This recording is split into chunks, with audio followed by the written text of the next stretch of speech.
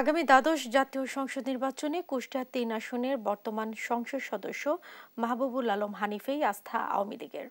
এই আসনে তৃণমূল নেতাকর্মীদের মধ্যে কিছুটা বিভেদ থাকলেও ব্যাপক উন্নয়নযোগ্যে নৌকার পক্ষে কাটা নেতাকর্মীরা। ইতিমধ্যে হানিফের পক্ষে মাঠেও নেমেছেন তারা। নির্বাচনের প্রস্তুতি হিসেবে করছেন সভা সমাবেশ।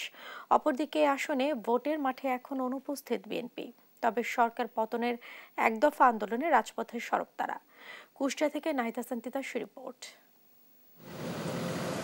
চারটি সংসদীয় আসনের মধ্যে জেলার সবচেয়ে গুরুত্বপূর্ণ আসন কুষ্টিয়া তিন। দুটি থানা ও একটি পৌরসভা নিয়ে গঠিত এই আসনে বর্তমান সংসদ সদস্য কেন্দ্রীয় আওয়ামী লীগের যুগ্ম সাধারণ সম্পাদক মাহবুবুল আলম হানিফ। আগামী দ্বাদশ জাতীয় সংসদ নির্বাচনকে সামনে রেখে দেশের অন্যান্য সংসদীয় আসনের মতো এ আসনেও বইতে শুরু করেছে ভোটের হাওয়া। গত দুই মেয়াদে এ আসনে ব্যাপক উন্নয়ন যজ্ঞে হানিফের উপরই আস্থা আওয়ামী লীগ নেতাকর্মীদের। তবে তৃণমূল নেতাকর্মীদের মধ্যে কিছুটা বিভেদ থাকলেও নৌকার পক্ষে একাট্টা সবাই। অতীতের সকল ভেদাভেদ ভুলে কুষ্টিয়ার আওয়ামী লীগ সহ সকল অঙ্গ এবং সহযোগী সংগঠনের নেতা কর্মীরা এক এবং ঐক্যবদ্ধ। হানিফ ভাই হানি মাহবুল আলম হানিফ বলতে তাদের কোনো দ্বিধা বিভক্তি নেই। অসহায় মানুষের পাশে দাঁড়ানোর যে কার্যক্রম সেগুলি কিন্তু শতভাগ নিশ্চিত করেছেন। তার মধ্য দিয়ে আমরা আশা করি যে আগামী যে দ্বাদশ জাতীয় সংসদ নির্বাচনে কুষ্টিয়ার উন্নয়নের স্বার্থে মানুষ আমাদের কুষ্টিয়া সদর আসনের যে সিটিং এমপি মাননীয় সংসদ সদস্য মাহবুল হানিফ সাহেবের প্রতি আস্থা রাখছেন। আর বিএনপি থেকে এ আসনে জেলা বিএনপির সাধারণ সম্পাদক সাবেক এমপি সৌরভ উদ্দিন ও জেলা বিএনপির যুগ্ম সাধারণ সম্পাদক প্রকৌশলী জাকির হোসেন সরকারের নাম সম্ভাব্য প্রার্থীর তালিকায় শোনা গেলেও দলীয়ভাবে এখনও নির্বাচনে অংশ নেয়ার ব্যাপারে সিদ্ধান্ত না হয়, নির্বাচনী মাঠে নেই বিএনপি।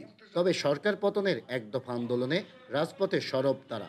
পৌরসভা নির্বাচন, ইউনিয়ন পরিষদ নির্বাচন, উপজেলা ইলেকশন কোনো নির্বাচনে কিন্তু সুষ্ঠু অবাধ এবং নিরপেক্ষ হয়নি।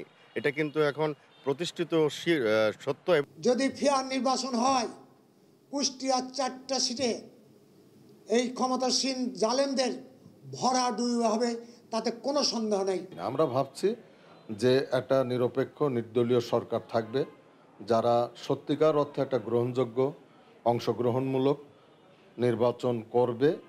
আর এ আসনের বর্তমান সংসদ সদস্য ও বাংলাদেশ আওয়ামী লীগের যুগ্ম সাধারণ সম্পাদক মাহবুবুল আলম হানিফও বলছেন নৌকাকে বিজয়ী করতে ঐক্যবদ্ধ রয়েছে নেতাকর্মীরা। এখন প্রত্যেকটি ইউনিয়নে সকলেই মিলেমিশে কাজ করছেন দলে। জাতীয় সংসদ নির্বাচনে আওয়ামী লীগের সকল নেতাকর্মী ঐক্যবদ্ধ থাকবে এবং ঐক্যবদ্ধ থেকে আমাদের বিজয় নিশ্চিত করবে।